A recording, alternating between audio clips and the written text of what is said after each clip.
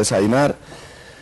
Ah, soy Saúl y vamos a hablar un poco de Async.io en Python y del PEP 3156, que es un poco la forma en la que esto ha vuelto a la vida. Así, para tomar el pulso, ¿quiénes sabéis de qué va el PEP 3156? ¿Vale? ¿Quiénes habéis trabajado con, digamos, a low level con IO en plan Apple y toda esta gente, ya sea en Python o en no Python? Vale, unos cuantos. Bueno, tengo un- vamos a empezar un poco más despacio para un poco despacio para, para ir aclimatándonos. Ah, un poco sobre mí, eh, me llamo Saúl, pero todo el mundo me conoce como Saúl en internet. Vengo de Ámsterdam, bonita ciudad donde se creó Python entre otras cosas. Ah, trabajo con voz sobre IP, comunicaciones en tiempo real y cosas por el estilo, aunque hago todo con Python. Y en mi rato libre me gusta mucho jugar con networking, sockets y cosas por el estilo. Ah, cuando tengo que clavar clavos, mis martillos son Python y C y estoy encantado de estar aquí. Tengo la, suerte de que me pagan por hacer software libre todo el rato y cuando no estoy trabajando también estoy haciendo software libre de otra forma. Eh, en GitHub tengo un poco todo lo que hago y lo que es relevante para la charla de hoy, un poco, pues son, eh, yo colaboro con el proyecto LibV, no sé si alguno lo conocéis, es el event loop de Node.js. Eh, también soy eh, de Tulip en- desde hace un tiempo. Y bueno, ha sido una, una interesante colaboración con esta gente porque tenían una mente muy abierta y a- abiertos a nuevas ideas. Hemos hecho muchos experimentos con event loops y demás, en concreto uno- un par de ellos de los, que, de los que voy a hablar un poco más adelante son eh, PyV, que es eh, un wrapper para, para libv, para poder usarlo desde Python, y Rose, que es eh, un event loop que es conformant con el PEP del que vamos a hablar hoy, que está sobre PyV, no como está hecho Tulip, que digamos demuestra el hecho de que es interoperable y veremos cómo. Entonces, para empezar, vamos a ver cómo haríamos el socket server de primero de carrera. Eh, creamos nuestro, nuestro socket servidor, eh, nos bloqueamos un montón a esperar a que algún cliente se conecte, imprimimos que oh, el cliente se ha conectado y ahora entramos en un bucle infinito hasta recibir, a recibir datos de, nuestro cliente. Si no hay datos, quiere decir que se ha desconectado y salimos y lo que hacemos es devolvérselo, ¿vale? Este es el típico echo server. Y cuando el cliente se ha desconectado, cerramos el servidor. Vale, esto tiene chorrocientos problemas. El primero y principal es que solo podemos gestionar una conexión, web scale. Eh, entonces, para soportar múltiples clientes, podemos utilizar múltiples threads, múltiples procesos o multiplexores de IO. Vamos a empezar usando threads, que también funciona. Eh, obviamos la función un momento, creamos nuestro socket server, escuchamos y luego ya entramos en un bucle infinito que lo único que va a hacer es aceptar conexiones. Cada vez que aceptamos una conexión nueva, tiramos un thread nuevo para gestionar la conexión. Y así es como la gestionamos. Si os fijáis, es el mismo código que antes de leer los datos y si no hay más datos, cerramos. Entonces, como al cerrar se acaba esta función, el thread muere. Entonces, por cada conexión tendríamos un thread nuevo. Esto tiene una serie de problemas. ¿vale? Y es que añaden bastante overhead a nuestra aplicación. Si solo vamos a gestionar un número limitado de conexiones, lo podemos usar. Pero tiene, incurre cierto overhead, principalmente el tamaño de stack, ¿vale? En- por defecto creo que son 8 megas, entonces pues la RAM no es infinita, aunque Chrome así lo crea, entonces eh, no podemos tirar todos los threads que queramos porque nos van a consumir mucha RAM. También hay mucho cambio de contexto, ¿vale?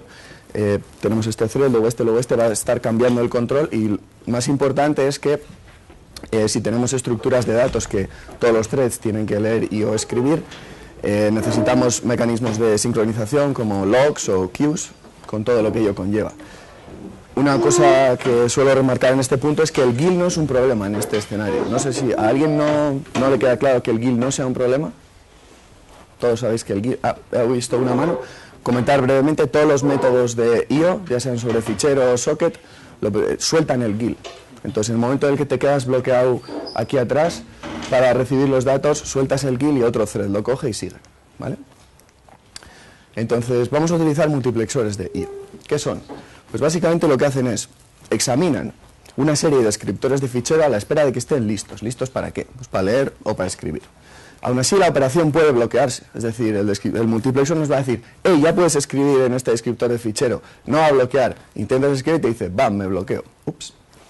Entonces, para que esto funcione, el descriptor de fichero tiene que estar puesto en modo no bloqueante. Y estoy seguro de que todos queréis saber cómo funciona esto en Windows, ya que no hay descriptores de fichero, pero eso os lo explico luego. Entonces, ponemos el, recapitulando, ponemos el descriptor de fichero en modo bloqueante, lo añadimos al multiplexor de ello, esperamos un rato, es decir, nos bloqueamos, y cuando, la y cuando eh, volvemos, hacemos la operación bloqueante sobre el descriptor del fichero si es que estaba listo.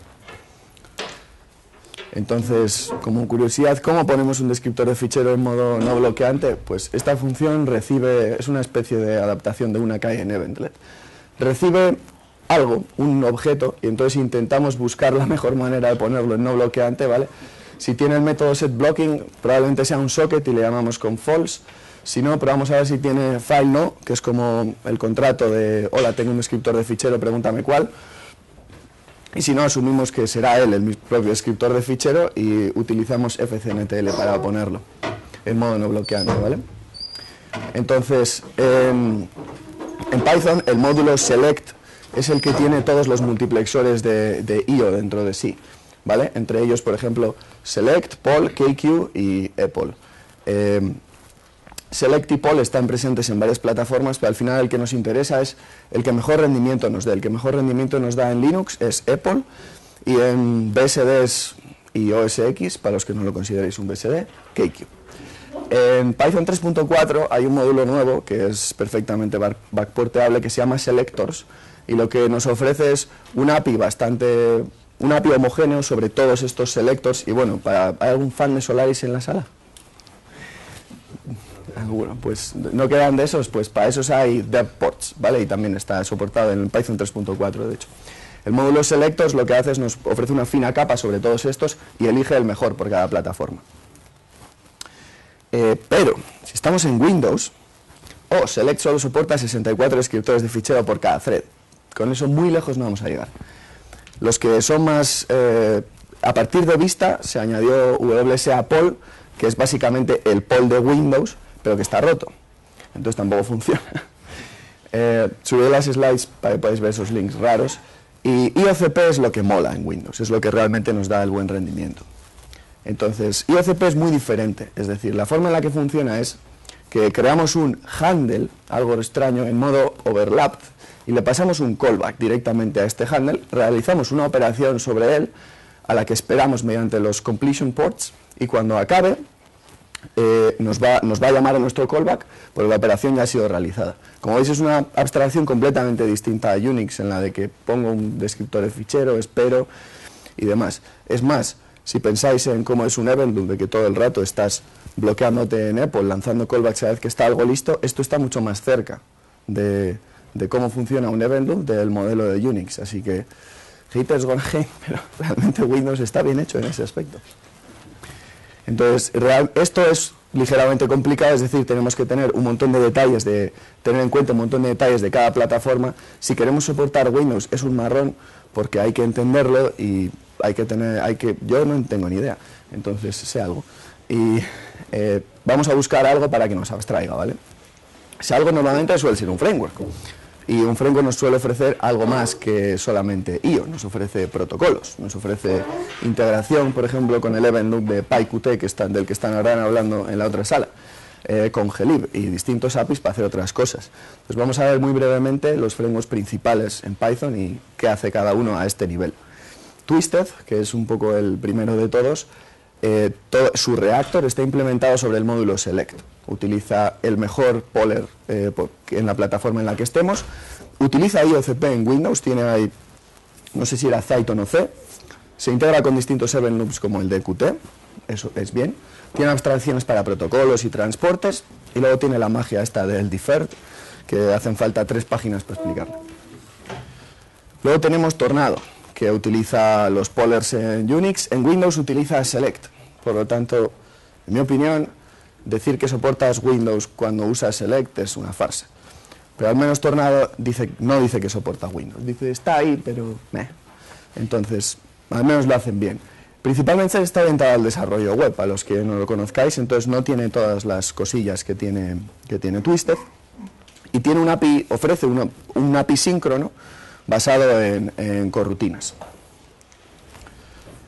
Gevent, que posiblemente conozcáis, utiliza libevent en la versión 0.cosa y la libv en la 1.cosa.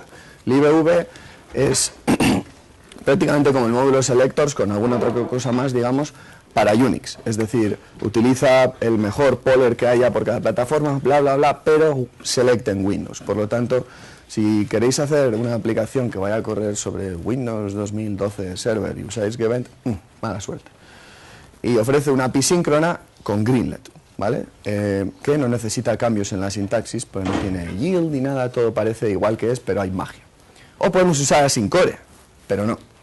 Eh, no mola, entonces eh, el email que inició todo este rollo de ¿por qué no hacemos el, IO bien en Python 3? Fue un email titulado Asyncore Included Batteries Don't Fit. Así empezó todo en Python Dev, creo, y de ahí salió eh, este proyecto, ¿vale? El que vamos a hablar. Entonces, como siempre, la solución a demasiados frameworks es otro framework, para hacer que todo funcione. Pero esta vez al menos me, gustó mucho esta frase que dijo Hiro una vez, dice, no estoy intentando reinventar la rueda, quiero hacer una buena rueda, no reinventarla. Y eh, en el puro espíritu holandés lo llamó Tulip. Pero ahora es así cayó, porque como ya está en la Standard Library había que ponerle pues un nombre aburrido, para que, para que funcione mejor, queda más, más serio. Entonces, bueno, ¿qué es, qué es Tulip? ¿Vale? Es la implementación de referencia del PEP 3156, que es el que define todas estas cosas de las que estamos hablando hoy. Tiene todos los componentes, todas las piezas de Lego para crear todas estas aplicaciones basadas en IO y cosas relacionadas y está diseñado para funcionar con Python 3.3 o más. Entonces, ¿qué objetivos tenía la creación de tanto el PEP como su implementación de referencia pues crear una implementación moderna de todo esto, ¿vale? Esto ha ido, ha ido creciendo a lo largo de los años, es decir, eh, hubo una época en la que Apple no existía, entonces esto es una implementación moderna que tiene, digamos, todo lo último. Eh, un objetivo era potenciar el uso de Yield From, como posiblemente veríais ayer en la, en la charla de James, ¿vale? Yield From All the Things. Eh, pero no hay que obligar a nadie, ¿vale? From es, para algunos, para otros no, entonces si, queremos podemos usar From, pero no estaríamos obligados. Es importante que no se requiere nada de, de Python 3.4. La idea es que ya es bastante, bastante, alto, bastante alta la barrera de entrada con Python 3.3, no vamos a subirla encima más, ¿vale? Y es importante, que es importante que interopere con otros frameworks. Vamos a ver qué es eso un poco más adelante. Así más como a nivel de funcionalidad, soporte para Unix y Windows, IPv4 e IPv6, TCP, UDP, pipes, tanto en Linux como en Windows. Sí, hay pipes en Windows, pero tienen nombres raros con muchas contrabarras.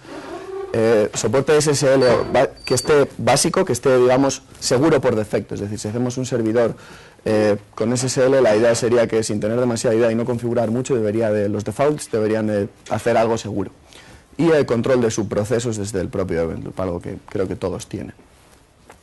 Y cosas que no son los objetivos de, Tulip es que sea perfecto, ¿vale? nada es perfecto, porque no lo ha escrito Torvalds, eh, reemplazar los frameworks. Un objetivo que mucha gente confunde es Tulip no pretende reemplazar todos los frameworks actuales, ¿vale? va a trabajar con ellos, pero no va a intentar absorberlos. Eh, no va a proporcionar implementaciones de protocolos concretos, es decir, la implementación de Tulip no tiene el protocolo HTTP implementado ahí, pum, en import from tulip.protocols import HTTP protocol, no. No va a reemplazar eh, cosas existentes en la librería estándar como HTTPlib o SMTPlib y no va a funcionar en Python 3.3 o menos. Adelantándome a alguna pregunta que seguro que surge, no, no funciona en Python 2.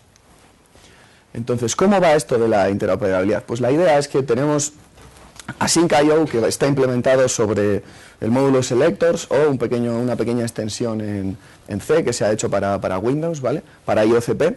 La idea sería, una de, las, una de las posibles vías de interoperabilidad, es que, por ejemplo, Twisted, Tornado, Gvent y los demás tengan un pequeño, un pequeño shim, un algo, para, que su, para dejar de un lado, por así decirlo, su propio event loop o su propio reactor y funcionen encima de Async.io, ¿vale? Un adaptador y que esto funcione. Esto es, es posible, es decir, yo no lo he hecho con Async.io porque digamos es relativamente reciente, pero eh, yo he hecho implementaciones de un reactor de Twisted, el IO loop de Tornado y el core de Event, que eso fue un poco marrón, eh, sobre PyV. Es decir, es posible hacer que todas estas librerías trabajen sobre otro event loop que no es el suyo. En concreto, aquí la que va en, cabeza yo diría que es Tornado. En el en máster de Tornado, Ben Darnell, que ha colaborado mucho también con el PEP, ha, eh, ha proporcionado una implementación del IO loop de Tornado que ya funciona sobre Async.io, ¿vale?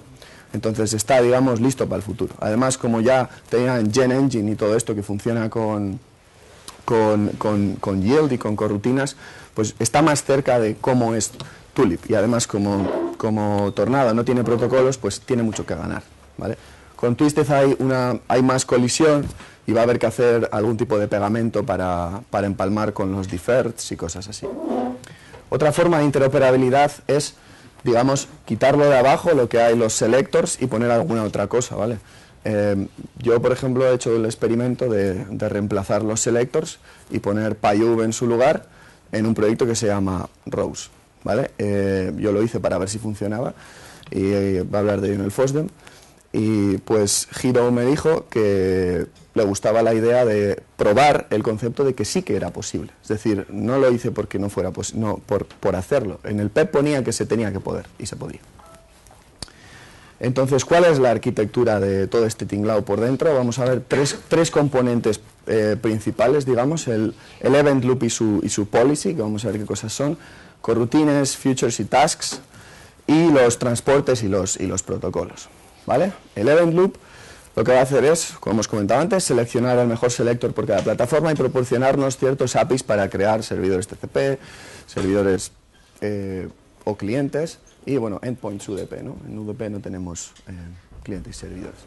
Vale, entonces todo event loop tiene funciones para, para poner callbacks y que se ejecuten más tarde en algún punto, ¿vale? En, en el caso de Tulip, el API es el siguiente.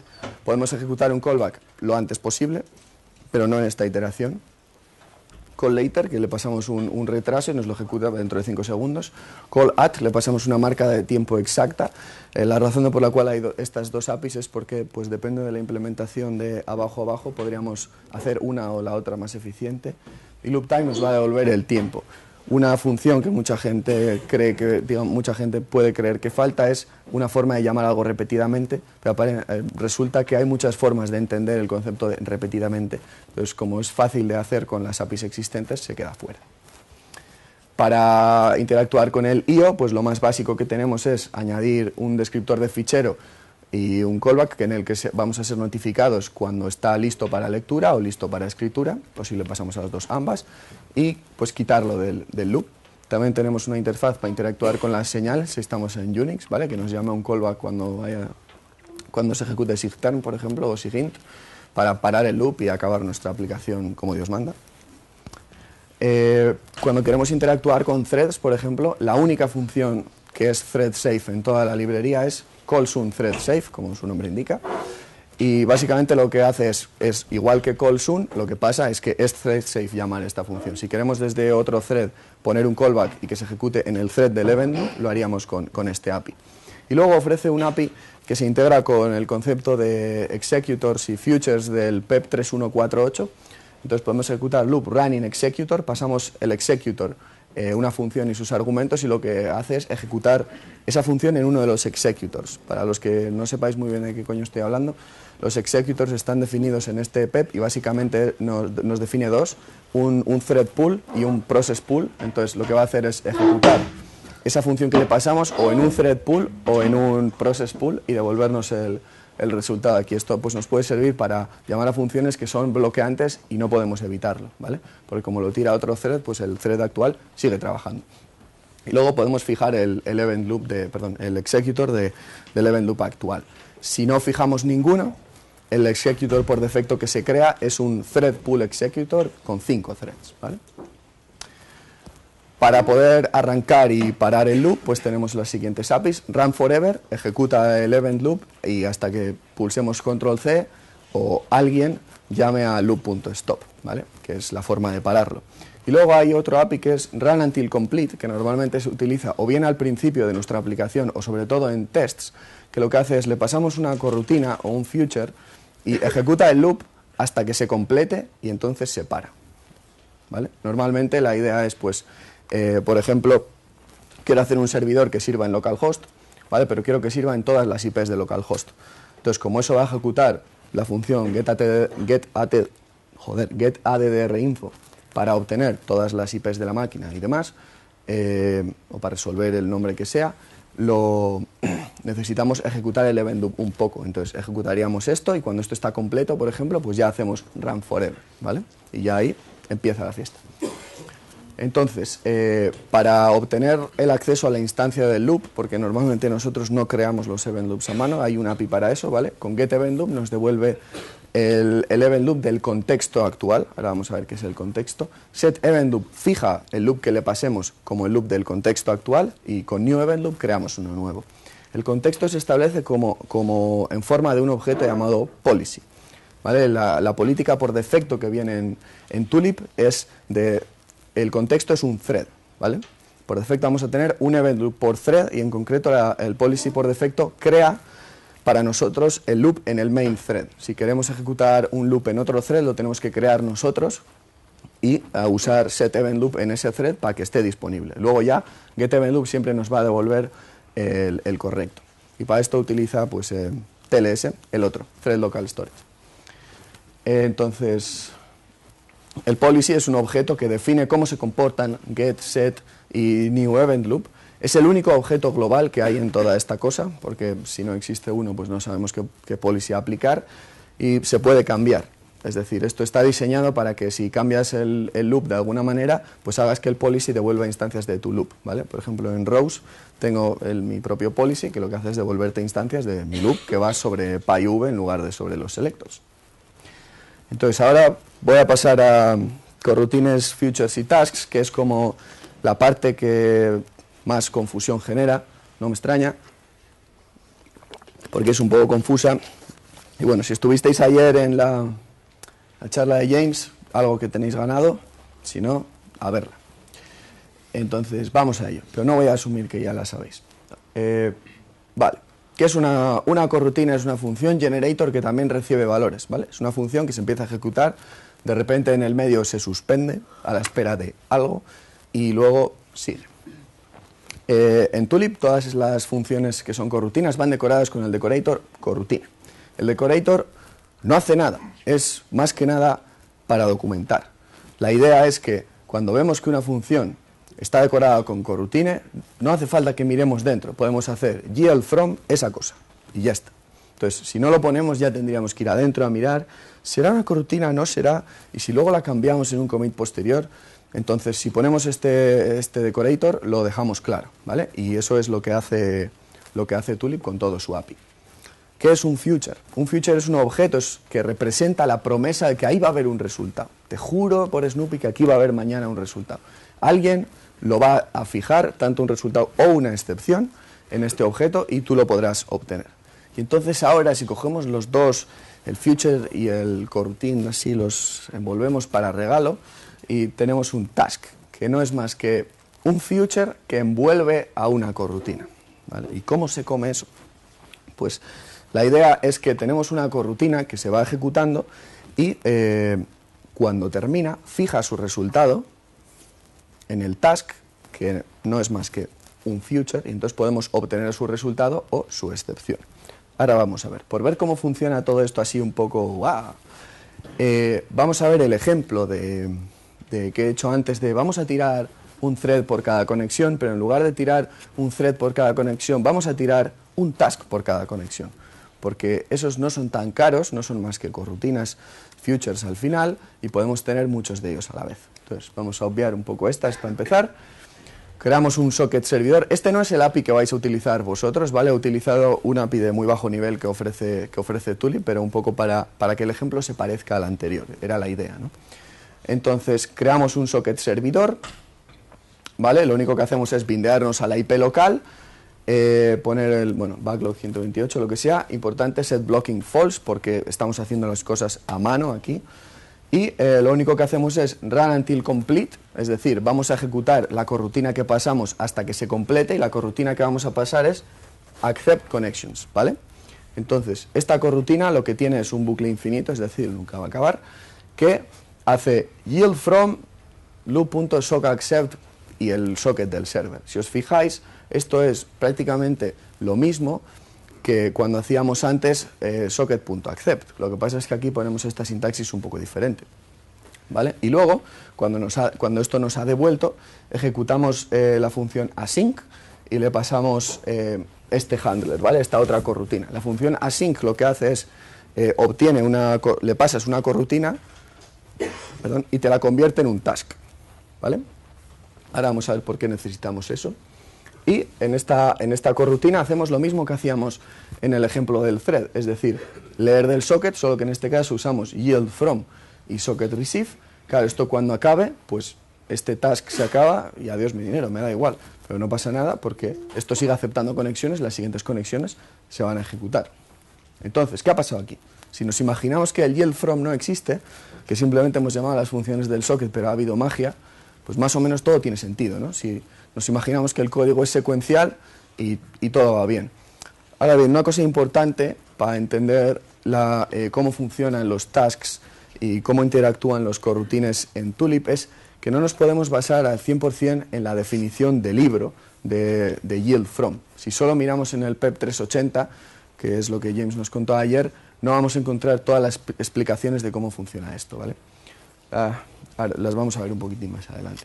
Entonces, los futures de Tulip no son exactamente iguales que los futures del PEP 3148. Tienen el API ligeramente cambiado, un poco para adaptarse más a, cómo Tulip los necesita usar, pero básicamente es lo mismo. Es decir, podemos fijar el resultado y luego obtenerlo, fijar la excepción y luego obtenerla. Una diferencia es que, por ejemplo, f.result en Tulip hace un raise de la excepción, si es que la tiene. ¿vale? Puedes mirar si tiene fijada la excepción con f.exception, que no te la devuelve, no hace un raise. Don't te dice si hemos acabado o no. Eh, podemos añadir callbacks para que nos diga cuándo, está, cuándo un future ha terminado, ¿vale? Como vamos a ver ahora, esa es la forma de interactuar con futures mediante callbacks y la forma, digamos, elegante es con yield from. Y podemos cancelar, cancelar el futuro. ¿Cuánto sentido eso tiene? Es curioso de hacer future.cancel, pero funciona. Eh, entonces, ¿cómo, qué, cosa mágica hay aquí? Es que los futures implementan eh, el protocolo de iteración de tal manera que puedes usar yield from con ellos. Entonces, puedes hacer yield from un future y lo que va a hacer va a ser esperar a que el, future se complete, es decir, a que alguien llame set result o set exception y luego va a hacer eh, o devolver el resultado o el raise de la excepción correspondiente. Normalmente vosotros no vais a instanciar futures nunca, van a ser devueltos por alguna función, aunque realmente, como se comportan igual que las corrutinas, no tenemos que saber que nos devuelve una función. Hacemos yield from cosa y ya está. Entonces, ¿para qué nos sirve un future, por ejemplo?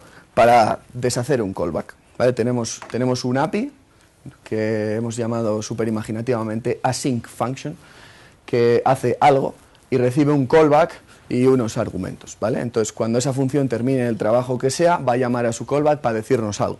Entonces, ¿qué hacemos nosotros? Bueno, pues creamos un future, luego cuando, eh, cuando llamemos a nuestra función y se llame el callback, lo que vamos a hacer va a ser eh, set result o set exception en el future, depende de lo que haya pasado, ¿vale? Aquí he asumido que el callback recibe result y error, pues porque sí, yo que sé. Y entonces, ¿qué es lo que va a devolver nuestra, nuestra corrutina? Devuelve el resultado de yield from future. Entonces, al usuario lo que le enseñamos es esto. Solo esto. Y el decorator. Entonces, ¿qué es lo que ve el usuario? Ah, una función, es una corrutina, ah, de puta madre. Pues nada, yield from función. Y todo funciona. Y lo que nosotros hemos hecho por debajo para esconder el hecho de que tiene un callback es esto. Entonces, este es, por ejemplo, un, patrón que podemos utilizar para que una, una librería que funciona con callbacks pues ofrecerle un API Tulip friendly, digamos. Entonces, ¿qué son los tasks? Pues los tasks son unicornios con polvo de hada, ¿vale? No se sabe cómo funcionan muy bien. Es una corrutina metida en un future que he dicho antes, todo el sentido que eso pueda tener, hereda de future, por lo tanto, todo lo que he dicho para futures de cancelarlas, añadirles callbacks, etc., etc., aplica también a, a los tasks y, por supuesto, funciona con yield from. Entonces, ¿cuál es la diferencia entre una corrutina y un, task? ¿no? Os preguntaréis. Pues el rollo es que la corrutina no avanza sola. Es decir, si una corrutina llega a un punto de yield y dice, vale, cedo el control, eh, bueno, ya si eso me avisas cuándo volver. Entonces todo tu programa tiene que basarse en que tiene que haber un mecanismo de scheduling que, que resuma esa corrutina, que diga, bueno, toma el resultado, sigue haciendo lo tuyo. Vale, eh, un task está diseñado alrededor del event loop. Entonces, normalmente, como lo que tenemos es IO, de sockets y demás, lo que va a ocurrir es que se va a ejecutar nuestra corrutina hasta que llega un punto en el que suelta el control, dice, vale, ya ahora estoy esperando valores. Y entonces dices, vale, pues vete a ejecutar otra cosa y ya cuando este socket esté listo, pues haces el, el punto sense y así volvemos a la función y se sigue ejecutando. Entonces, el event loop en sí, digamos, es el scheduler implícito de las corrutinas que van a funcionar aquí. ¿vale? Entonces, los tasks, la ventaja que tienen es que avanzan solos. No tenemos que retener una instancia de un task y luego llamar .wait en ella o algo así para que avance. Eh, lo que ocurre es que nosotros decimos, ejecuta esto en un task, y entonces el event loop empieza a ejecutarlo, cuando encuentra un punto en el que hace yield, ejecuta otra cosa, cuando tiene que volver, vuelve, y lo hace, digamos, solo. Vamos a ver aquí otro ejemplo en el que he hecho una API un poco diferente, solamente para pues, verlo un, poquito. ¿no? Entonces aquí lo que hemos hecho es em, utilizar otra de las funciones que creo que tengo explicada después, de async.io, que sirve para iniciar eh, un servidor, ¿vale? De, en este caso es un servidor TCP, y lo, lo, que vamos a hacer es, esta es una función de, de, bastante alto nivel a la que solamente le pasamos una función callback en la que a la que nos va a llamar cuando esté listo, cuando haya una conexión entrante de un cliente y le pasamos la IP puerto en la que queramos escuchar. ¿vale? Esto nos devuelve una corrutina o un future. Entonces, ¿qué hacemos? Pues run until complete esa corrutina o ese future y entonces obtenemos un objeto server eh, al que podemos llamar close para cerrar, para cerrar el servidor ya, por ejemplo. En este caso no lo usamos, pero bueno, lo podríamos usar. Lo hacemos loop run forever y entonces ya pues ejecutamos el event loop pues hasta que nos dé la gana. ¿no? Entonces, cuando, cuando un cliente se conecta, lo que nosotros eh, llevamos es a este callback y recibe dos argumentos client, client reader y client writer, que son instancias de, de una abstracción que tiene Tulip dentro, que son streams, es decir, una forma bastante cómoda de trabajar con, con algo que pueda parecerse a un stream, es decir, una conexión eh, tanto en una dirección como en la otra, y, eh, digamos, algo como TCP, ¿vale? Entonces, nos abstraemos del hecho de que es un socket en este caso, con este API. Entonces, ¿cómo vamos a hacer, qué es lo que queremos hacer aquí? Pues queremos hacer como antes, crear un nuevo task para poder eh, gestionar esta conexión, leer de ella y luego hacerle el eco. ¿eh? Estamos eco servers para todo aquí. Entonces, aquí he utilizado el otro API para crear un task, ¿vale? Directamente con el constructor de task, lo creamos, le pasamos la, corrutina de handle client, que ahora vamos a ver, y luego, pues bueno, ya que estamos aquí, en, guardamos en un diccionario, como clave metemos el task, y como valor, pues una tupla con el reader y el writer que se nos han pasado, ¿vale? Eh, simplemente para llevar la cuenta, por ejemplo. Entonces, como task, como hemos dicho, hereda de future, tiene el mismo API, así que podemos llamar a add callback, y entonces lo que va a ocurrir es que cuando el future se acabe, es decir, cuando ese task llegue al final, por ejemplo, porque el cliente ha cerrado la conexión, se va a ejecutar el callback que definamos. En este caso es esta, client done, y lo que hacemos es pues, limpiar el diccionario, ¿vale? Para no tener un montón de cadáveres ahí guardados. Entonces, la, la corrutina que ejecutamos para cada cliente es handle client, que lo que hace es igual que antes. Un bucle infinito en el que hacemos yield from eh, y el y en este caso hacemos read line del client reader porque es un stream, ¿vale? Podéis consultar en el PEP su API, pero es básicamente eh, algo fácil para poder utilizar, eh, en lugar de utilizar el API de low level de un socket en el que le dices recibir 4096 bytes, por favor, gracias, luego tengo, tienes que partirlo en, barra, en nuevas líneas, ¿vale? Algo más amigable con lo que trabajar. Y luego lo que hacemos es, usamos Client Writer y pues le escribimos el mismo mensaje, ¿vale? Lo que hemos estado haciendo del servidor de eco todo el rato. Entonces ahora vamos a ver un poco sobre transportes y protocolos, que es la última parte que nos faltaba. Entonces los transportes representan cómo es la conexión que tenemos, ¿vale? Puede ser un socket, puede ser un pipe, puede ser algo UDP. Y el protocolo representa la aplicación que va encima de esa conexión, ¿vale? Puede ser un servidor HTTP, un cliente HTTP, un cliente IRC, lo que sea, eso está por encima del transporte, ¿vale? De hecho es transporte agnostic, en principio. No importa qué haya por debajo, si mañana queremos usar DTLS y lo implementamos, pues muy bien. Teóricamente el protocolo es completamente transparente. Siempre van juntos, ¿vale? Siempre que tenemos, tenemos transporte y protocolo, siempre juntos. Y el API de transportes y protocolos es bastante inspirado en Twisted y no tiene nada de estos yield froms y demás. Está implementado como llamadas a función y callbacks, old school style, ¿vale? La idea de esto es eh, maximizar un poco la interoperabilidad con otros frameworks como por ejemplo Twisted. Entonces, eh, para crear clientes y servidores, por ejemplo, tenemos, tenemos estos APIs, ¿vale? Create Connection nos devuelve un transporte y un protocolo que hemos creado al... Esto es iniciar una conexión cliente, ¿vale? A, algún lugar. En concreto, esto nos va a servir para TCP y, TLS. Create Server es lo mismo, ¿vale? Pero lo que hacemos es crear un servidor. Lo que pasa es que en este caso, en lugar de devolvernos un transporte y un protocolo, nos va a eh, devolver un transporte y un protocolo por cada conexión aceptada, ¿vale? Cada vez que acepta una conexión, eh, va a necesitar uh, le vamos a dar un transporte y un protocolo, pero lo que nos devuelve, es lo que hemos visto un poco antes, es un objeto server que básicamente encapsula todos los sockets en los que estamos escuchando y podemos eh, cerrar. Y sobre estas está el API, digamos, más amigable y más sencillo de usar, que es Open Connection, que lo que hace es crear esa conexión saliente, pero lo que nos devuelve es esa tupla de, de Stream Reader, Stream Writer, que es más fácil de utilizar, ¿vale? Y eh, pues el homólogo de, Create Server pues es Start Server, que es la que hemos visto utilizada aquí, ¿vale? También nos devuelve ese, objeto server.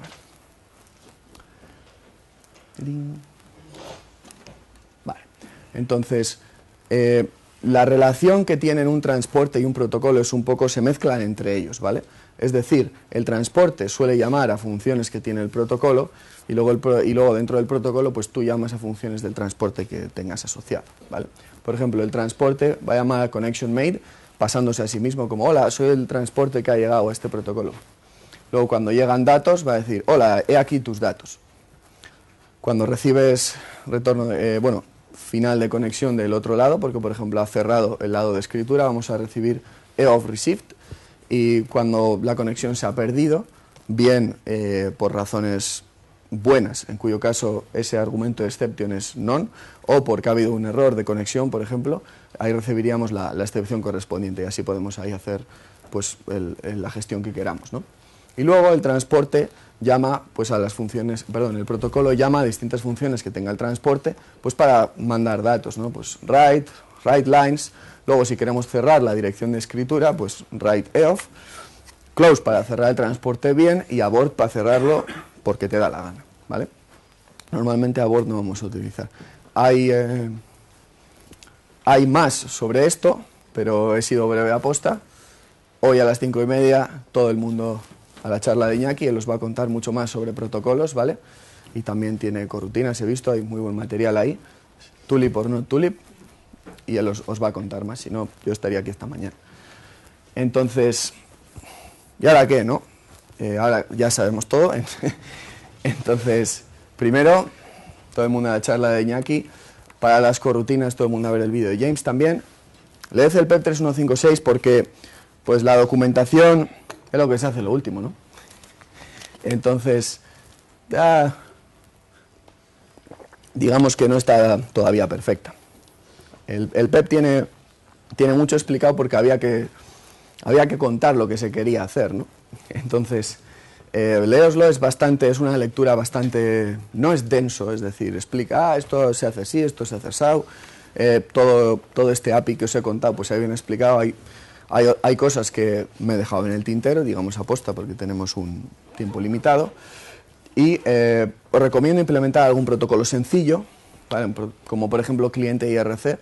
IRC es un protocolo basado en texto, entonces es bastante sencillo de implementar. No, no empecéis implementando packing y un packing de Git, ¿vale? Eh, algo así un poco más para seres humanos. Y eh, si podéis, pues usad Async en vuestro siguiente proyecto, ¿no? así es como, como se, así es como se ve si algo le falta a un API o no le falta, ¿no? Muchos de los contributors que ha habido al proyecto pues lo han intentado usar para algo y de repente, bueno, incluidome yo, dices, joder, esto no, no encaja, ¿no? Entonces comentas y siempre ha habido una comunidad muy, muy de aceptar parches y, de aceptar sugerencias y demás, siempre que no digas, no, todo está hecho una puta mierda, tirémoslo por la ventana, ¿vale? O sea, con, con sentido común. Y la pregunta que normalmente, adelantándome alguna pregunta que probablemente hay a este respecto y que normalmente la gente tiene es, ya, pero es que yo dependo de estos protocolos que hay en no sé qué librería o lo demás, ya hay unas cuantas cosas implementadas eh, para Tulip. ¿vale? Hay una página en el wiki que tiene pues, las librerías de terceros, que hay en concreto, por ejemplo, tenemos desde servidor, de, servidor y cliente de WebSocket, cliente de Redis, eh, también hay un, worker para, para G-Unicorn, ¿vale? Entonces, se está, se está empezando la gente a, está empezando la gente a escribir, a escribir código para Tulip. Entonces, en, en la, tengo una última transparencia con referencias, ah, pero es bastante fácil de encontrar el proyecto Tulip, ¿vale? De momento está, lo podéis encontrar en Google Code o si no en la, en la Alpha 4 de, de Python 3.4 ya viene incluido y si estáis en 3.3 pues pip install async.io y bam, viene, viene en serie. Vale, y bueno, esto es todo lo que os quería contar hoy. Si tenéis alguna pregunta, pues Better con Saúl. Esa web existen de verdad. Entonces podéis contactarme tanto por Twitter como, como os dé la gana, ¿vale? Cualquier pregunta que tengáis ahora o luego y eso es todo.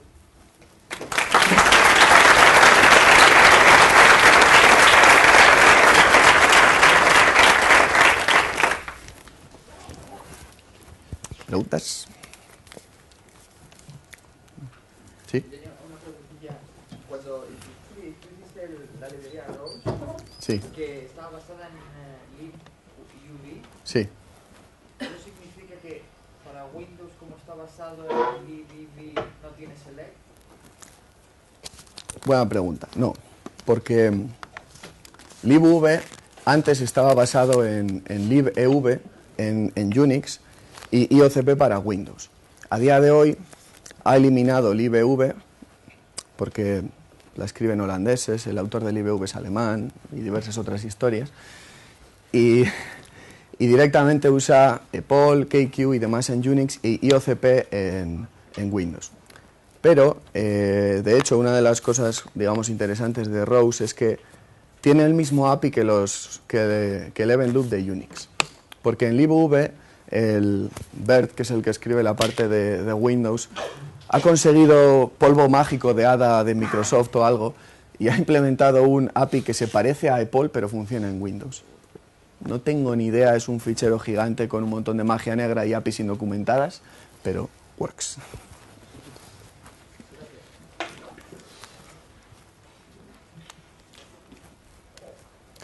Bueno, pues si no tenéis ninguna otra cuestión, estoy por ahí.